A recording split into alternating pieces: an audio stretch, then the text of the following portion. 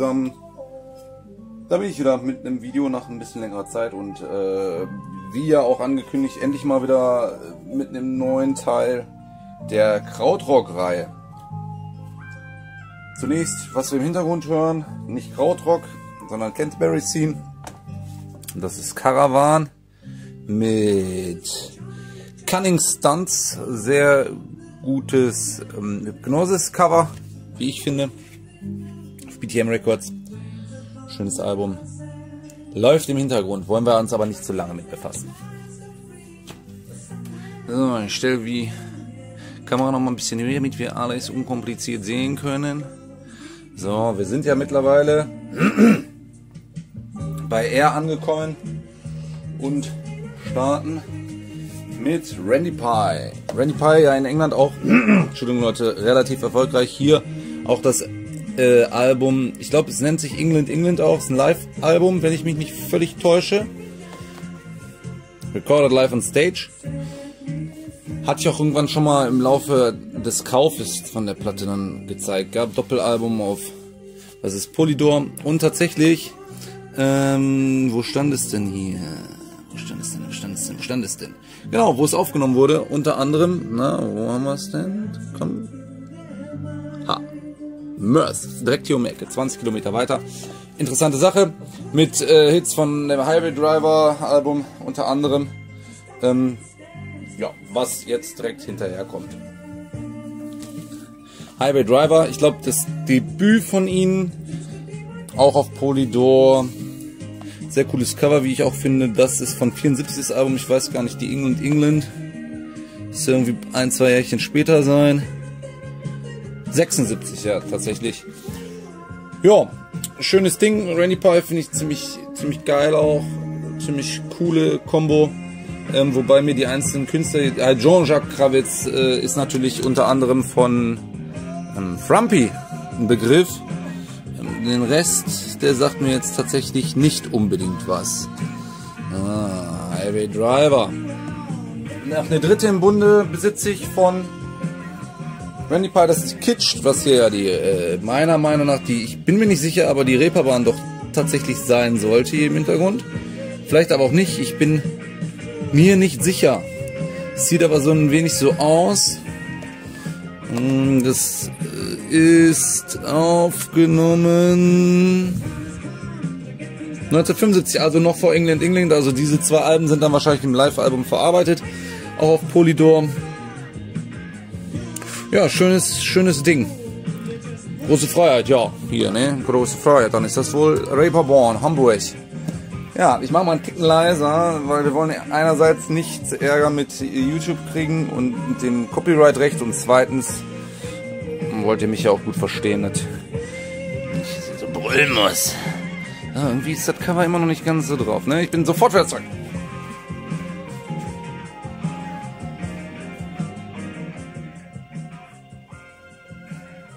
So, etwas entspannter vielleicht. Ja, das war es zu Randy Pie. Dann haben wir danach jemanden, der kommt aus Hamburg. Beziehungsweise ähm, hat da, glaube ich, am Anfang seine größten Erfolge gefeiert. Ist von Achim Reichel, der ja damals mit den Rattles in Hamburg ordentlich unterwegs war. Das äh, Album hier, The Green Journey alias Die grüne Reise, also andersrum, es ist nicht Achim Reichel, sondern es ist AR and the Machines. Also Achim Reichel alles alleine eingespielt, quasi über ein immer Overdub-Prinzip. Äh, dieses, ja, Album geschaffen, super geile psychedelische Reise, wie ich äh, finde, super geiles Album, gar nicht so ultra teuer, aber ein mega Psych, Krautrock, Kracher, wie ich persönlich finde. Es gibt noch ein oder zwei andere AR Machines, Alben unbezahlbar, eigentlich auch irgendwie nie verfügbar gefühlt. Das Ding habe ich jetzt irgendwann mal relativ günstig geschossen. Was kriegst du schon mal für einen Zehner, für einen 20 das ist sie aber auch auf jeden Fall wert. Hört euch da mal äh, rein, äh, wenn ihr es nicht kennt. Auf äh, YouTube gibt es das Album zu hören, ohne Probleme. Richtig, richtig geiles Teil. So, dann kommt was. ist eigentlich ein Low-Budget-Band, äh, beziehungsweise auf einem Low-Budget-Label. Psychedelic Underground, Bokai Rezien. was so viel heißt, ja eigentlich wie Meister Jakob rückwärts. Das ist auf dem Fass-Label, also für alle Schallplattensammler. Das ist so ein Budget-Label, aber es gibt so einige. Ich habe, hatte ich denn auch, hab ich die schon gezeigt? Ich weiß gar nicht genau, ob ich die gezeigt hatte damals. Die ähm, Electric Food ist auch so eine Budget-Platte. Also Low-Budget-Label-Platte. Mm, das sind, wartet mal, gucken hier. Da ist sie. Hier als Beispiel nochmal. Das ist so eine andere. Ich weiß nicht, die ist nicht auf Fast, sondern auf Europa. Das sind so äh, ja, Low-Budget-Platten, die meist von Studiomusikern eingespielt wurden. Da ist dann meistens eine Coverversion oder zwei Coverversionen von irgendwelchen typischen ja, Krachern drauf. Ich weiß gar nicht, was ist So Bad hier, glaube ich. Ähm, ich weiß es gar nicht so genau. Auf jeden Fall haben sie immer ein, zwei Coverversionen drauf und der Rest sind halt richtig äh, ja, Eigenkompositionen, wo die sich ausnehmen können. Das sind oftmals richtig geile Scheiben. Also die hier kann ich auch nur empfehlen. Und äh, da gibt es dann noch, boah, was gibt's denn da noch? Ähm, Psychedelic Hell Preachers habe ich leider auch noch nicht, ist auf Europa auch rausgekommen, auch so ein Low Budget. Zum Teil auch Bandmitglieder bei der Electric Food von, ähm, ja, jetzt ich komme nicht drauf. Und so, Lucifer's Friend drauf, äh, bei der Hell Preacher glaube ich auch. Also äh, da haben sich dann tatsächlich äh, Krautrock-Bands dann später noch draus aus dem Personal gegründet. Und äh, können einiges und sind preislich halt nicht so ultra hoch anzusiedeln, tatsächlich. So. Dann packen wir die mal wieder kurz hin. Äh, äh, wo geht denn die auf? Ja, doch, war richtig. Ähm, ja, schönes Ding. Und nachdem wir das jetzt haben, aber eher was, ja, nein, nicht, aber das bekannteres Wolfgang Riechmann. Wolfgang Riechmann, and Streetmark hier. Das ist, glaube ich, schon nach seinem Tod veröffentlicht worden. Ich weiß gar nicht genau. In der Düsseldorfer Altstadt, ja, leider Gottes erstochen worden, der gute Mann. Sehr schöne, ja, was ist das? Ist das Ambi, zwischen Ambiente, Krautrock, so ein Mittelding, ne? So schon elektronischere Einflüsse auf jeden Fall mit bei, bei den Sachen. Ich weiß gar nicht, ob hier auch Conny Plank Studioaufnahmen gemacht hat und so weiter. Das hier kann ich gar nicht genau, nee, kann man hier auf dem Albumcover nicht sehen. Riechmann finde ich auf jeden Fall mega gut. Ja, komm, ich hau direkt die nächste. Ich weiß gar nicht, von wann die ist hier. Ist gar kein Jahr drauf. Ist auf jeden Fall eine Sky-Veröffentlichung. Genau wie die Riechmann Wunderbar. Das ist eigentlich seine einzige komplett äh, Solo-Platte. Wie gesagt, kurze Zeit später erstochen worden. Die ist rausgekommen. Boah 77, 78. Ja, aufgenommen zwischen 77 und 78. Nee, Conny war hier nicht dran beteiligt, so wie es aussieht. Aber äh, mega geile Platte auf jeden Fall auch. Ne, wie, wie, wie gesagt, so ein bisschen elektronische Einflüsse. Es geht so, ja, will, will man sagen, so ein bisschen in Ino-Style. Ähm, ja, Düsseldorfer Szene halt, ne? So wie Roter auch oder ähm, Hanoi, Düsseldorf, ne, die haben sich da so alle, das war so die Szene, so wo die zu Hause waren. Wenn ich mich jetzt nicht völlig täusche. Korrigiert mich alle, wenn ihr es besser wisst, ne? gar keine Frage. Ja, wo wir jetzt gerade schon bei Roter waren, hauen wir hinterher, haben wir hier Fernwärme. Ein relativ spätes Album von ihm, wenn ich mich nicht täusche. Ähm, auf Polydor. Das ist rausgekommen. 81, ja, ich sage ein bisschen später. Die anderen. Äh, viele der anderen davor auch auf Sky rauskommen. Ja, Roter früher ja bei Neu. Ganz früher auch teilweise, wenn ich mich jetzt nicht völlig täusche, bei. War nicht auch bei Kraftwerk bei ganz am Anfang? Oh, nee, ganz am Anfang. Ich bin jetzt ein bisschen durcheinander, weiß ich. Aber wo hat er denn noch mitgespielt, der Junge? War er bei Cluster mit dabei? Nee. Ah, bin ein bisschen durcheinander jetzt. Egal. Ähm, ja, dann haben wir Flammende Herzen. Auch ein sehr geiles Teil von ihm. Ein Sky-Label, siebte Veröffentlichung im Sky-Label, also relativ äh, frühe Sky-Veröffentlichung, 1976 Sky-Label mag ich ja tatsächlich auch sehr gerne. Was ja, äh, wie war es, abgekoppelt?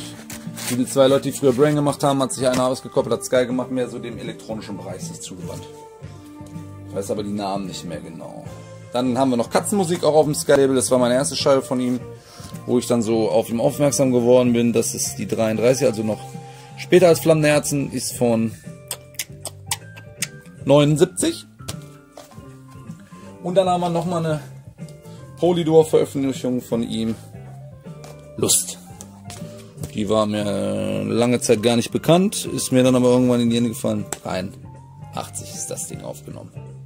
Ja, seine Solo-Sachen. Ja, ist ja auch so Ambiente, verspielter Gitarrensound, sphärisch, ruhig auf jeden Fall. Also keine ultra experimentellen Ausflüge. Dann haben wir ein schönes Repress von Rufus Zufall. Fallobst. Eigentlich eine Pilzveröffentlichung, wie ihr seht. Sehr schönes Klappcover, wie ich finde.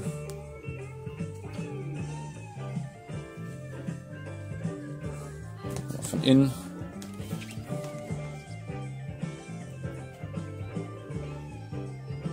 Ja, auch für alle, na, kennt man ja eigentlich, aber ich zeig's trotzdem mal. Das schöne Pilzlabel. Hm.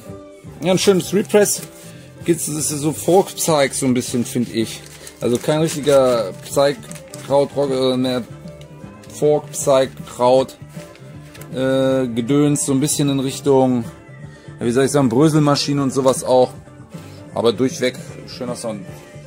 Ich mal äh, bei jemandem, der so ein paar, ja was heißt paar, der ordentlich viele Represses auf einem äh, Krödelmarkt verkauft hat, habe ich das Ding geschossen.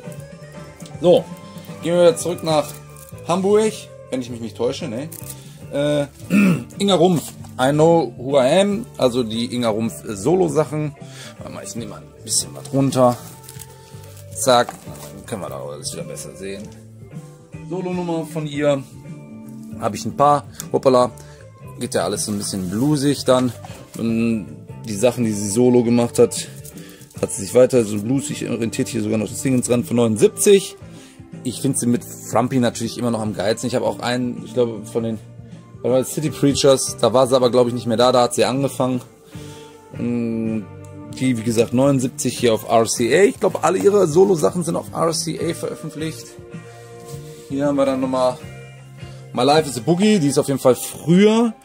Ich kann ja nicht genau sagen, die ist von 77, also gar nicht so lange Zeit nach Atlantis und ähm, Frumpy.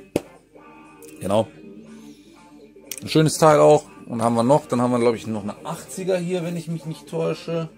Genau, recht späte, 1985. Ich weiß gar nicht, 1 gleich, nee, 2 gleich 1, was soll das Album? Plus, 2 is 1. So, so ist das zu übersetzen hier oben. Ja, 2 is 1 von ihr.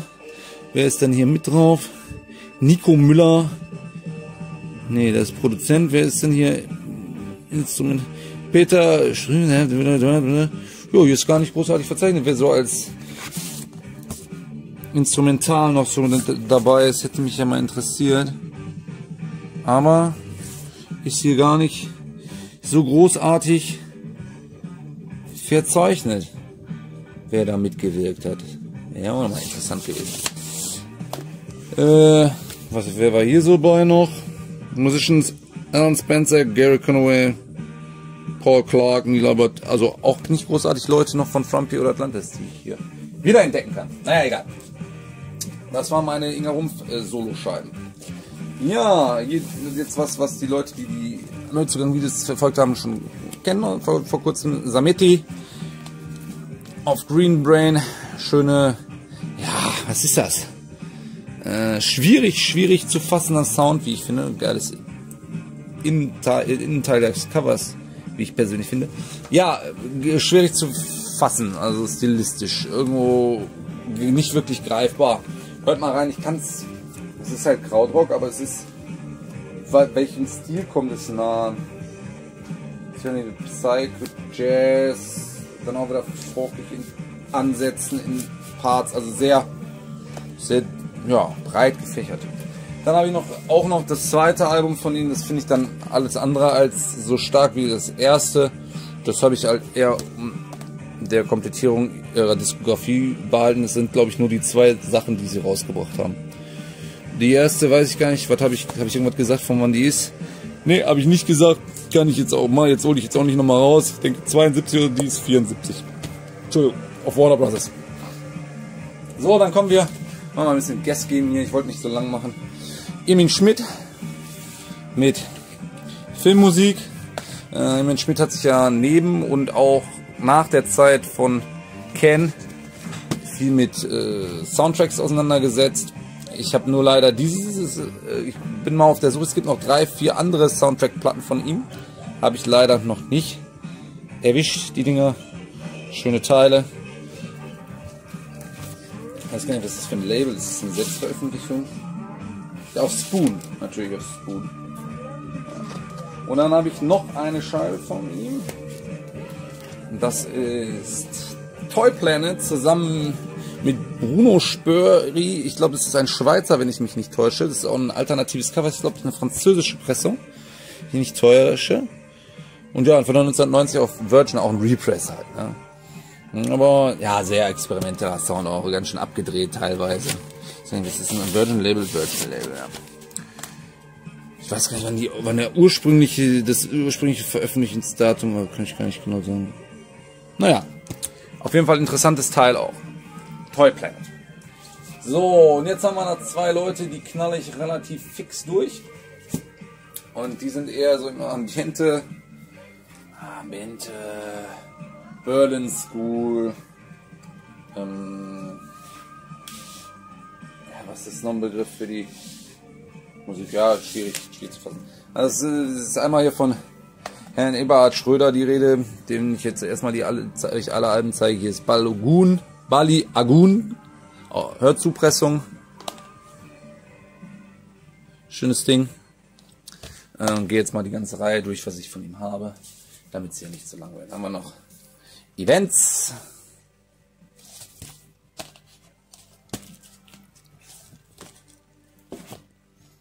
Er fasst auch so, ich glaube, die, Bal die Baligun ist recht früh, eine seiner frühen Sachen. 76 Event Event 80 Stapel runternehmen. Zack. Dann haben wir hier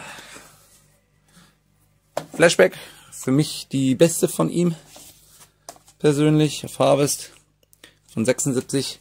Hier, wenn ich mich nicht täusche, ist doch die Scheibe, weiß ich nochmal, aber ja, war die, glaube ich, mit Sting zusammen, wo Sting singt. Oder bin ich jetzt völlig Banane, vertue ich mich jetzt gerade? Ich weiß gar nicht, ob dies war. Doch, ich glaube, das war die. Also, die mit Sting ist auf jeden Fall die beste. Ich glaube, das war diese hier. Dann haben wir hier noch Ebert, schöner Meditation. Hat irgendwie ein Trottel draufgekritzelt. Cover finde ich trotzdem sehr geil. Ich glaube, Platte wird hier seitlich entnommen. Genau. So, zack. Auf Areola ist das Ding, glaube ich. Zack. Jawohl. Die ist von, die ist recht, die ist, glaube ich, noch mal früher. 73. So, ich wende einmal kurz die Platte. So. Nach Meditation haben wir noch Sky Music, Mountain Music ist von, ist auf Kuckuck übrigens, also viele unterschiedliche Labels, auf denen er verpflichtet 84. Das ist schon sehr Meditations-, Schwingungsmusik, würde ich sagen. Dann haben wir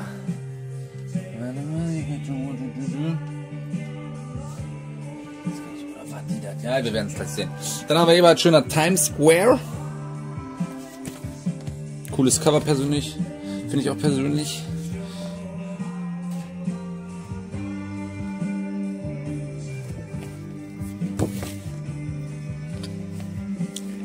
Ist von auch auf Harvest erstmal und 80 81, 81 veröffentlicht. 81 veröffentlicht.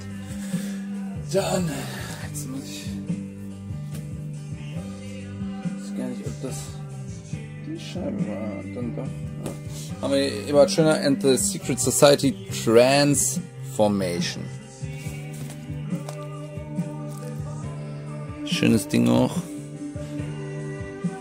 von 77 auch auf Harvest.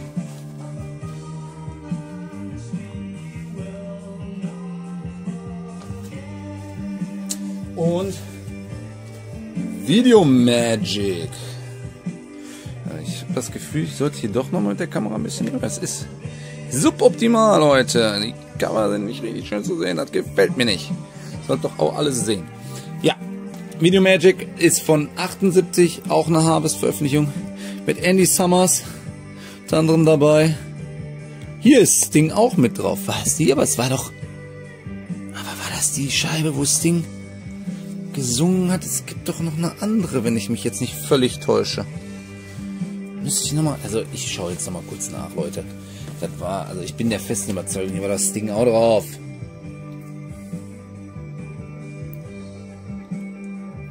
Mensch.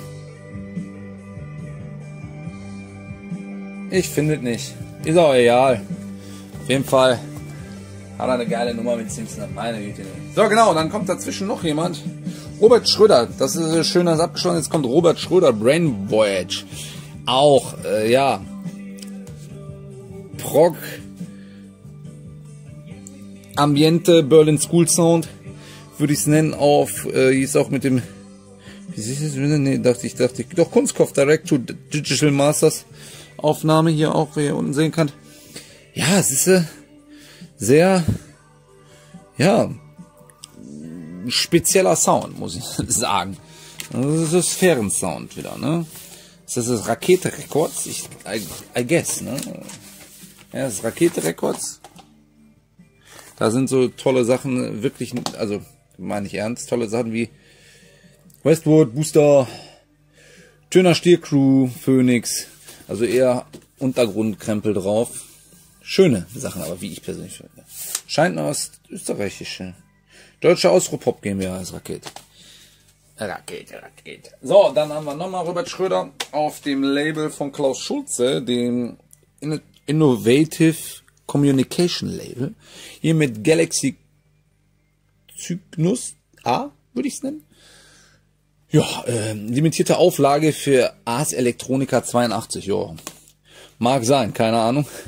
33 Umdrehungen hier, nicht wie die wie die äh, Klaus Schulz Platte, wo dann war das Wolfgang Warnfried, glaube ich, ne?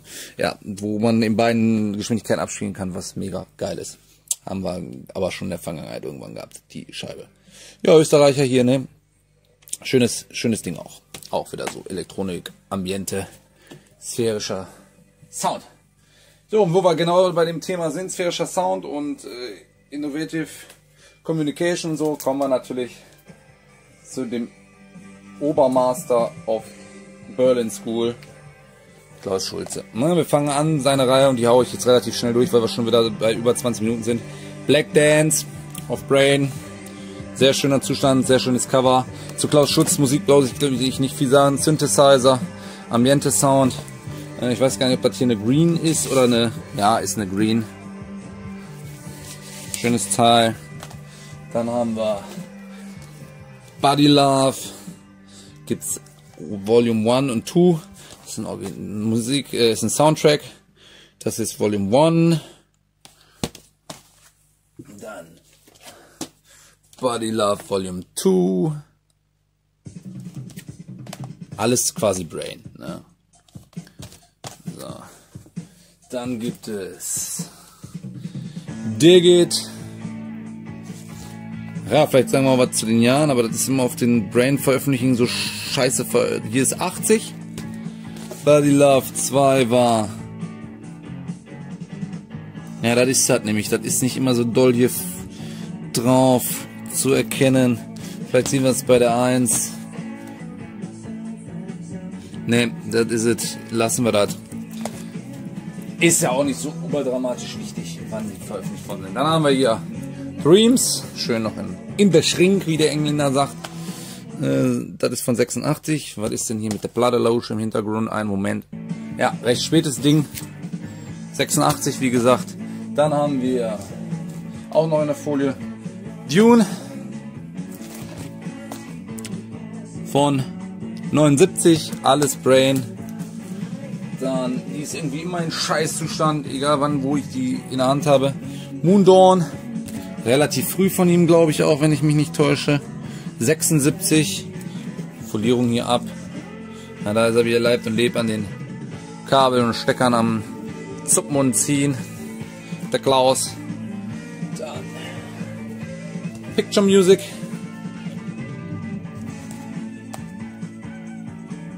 Von 73.